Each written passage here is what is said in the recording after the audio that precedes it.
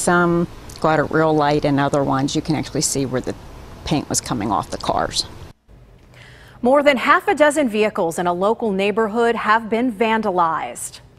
Good evening, everyone. I'm Kim Gable. Paul Martino has the night off. Police are now on the hunt for a culprit after several cars were keyed on the same street in Pittsburgh's Brookline neighborhood.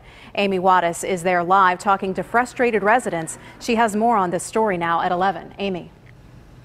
Good evening, Kim. And this incident happened in the middle of the night, just before 2 this morning. Several Brookline residents woke up to find their cars keyed. In fact, one resident caught it all on surveillance video, then called police.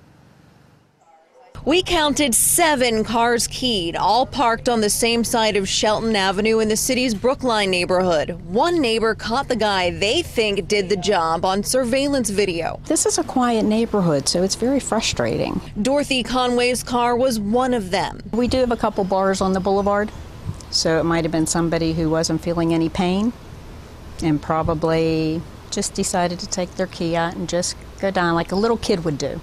They obviously have no conscience and they obviously don't care. They don't respect anybody else's property. In the surveillance video, you can see someone walking by the cars. The silver car in the video is one of the cars that got keyed. Mary Ellen McNulty's SUV got it even worse. Got a really nice pattern. A little bummed, but like I said, what are you going to do? It's probably not even worth turning into the insurance. McNulty suspects the keying was random. It's a shame, but I, I don't know why people would do a thing like that.